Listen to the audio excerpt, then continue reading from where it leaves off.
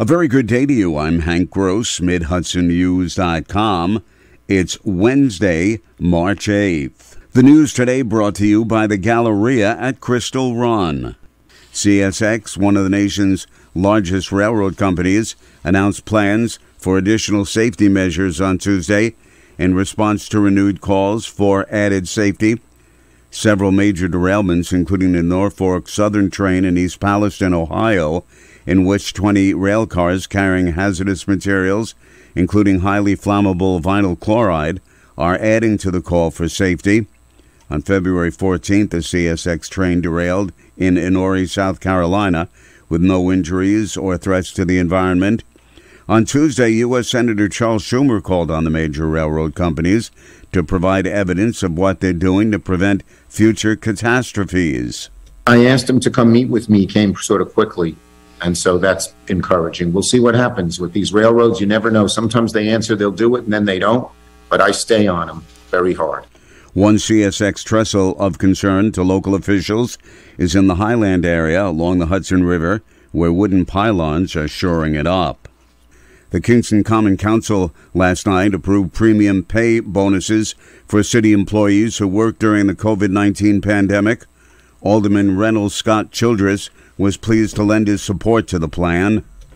These are people who continued, even in very dire circumstances, to continue to work on our sewers, to climb down in our sewers and repair them, to uh, go to fires and put them out, to take care of people in distress this is pretty amazing what our city officials, city workers did throughout the entire process. The city is appropriating nearly $688,000 with $300,000 in American Rescue Plan funds for $3,000 bonuses that will go to full-time union employees who worked 100% of the time from the commencement of the pandemic from March 13, 2020 to the end of the mayor's declaration of the state of emergency, July 2, 2021. Part time employees who work 100% of the time will get $1,500 bonuses. Full time employees during the same time period who were on 40% to nearly 75% of the payrolls will receive $1,500 bonuses, and part time employees will receive $750 for the same payroll times. The city is also paying about $76,000 to management staff not covered by a union contract. More news right after this. Find over 100 retailers allowing you to spend hours shopping safely at the Galleria at Crystal Run. Enjoy the big brands and the diverse selection of family owned stores all in one location. The Galleria at Crystal Run offers dining options for everyone with Fuji 110 Grill, Allen's Mediterranean Grill, and Peru Cuisine. Discover the Mid Hudson Valley's premier shopping, dining, and entertainment destination, the Galleria at Crystal Run.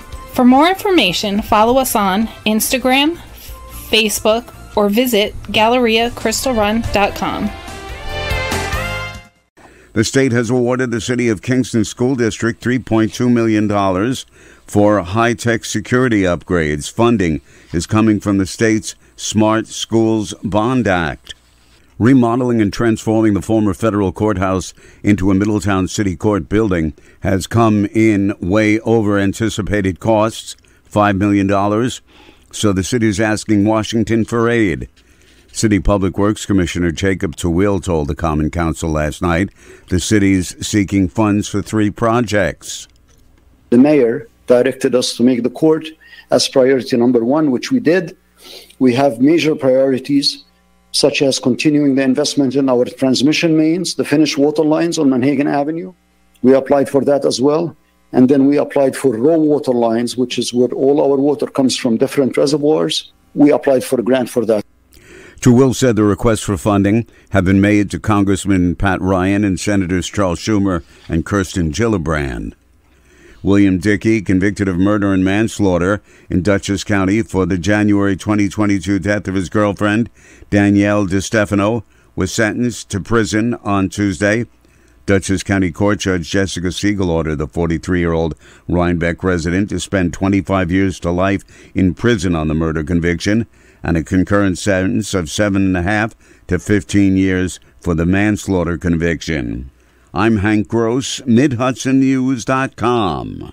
The news today brought to you by the Galleria at Crystal Run.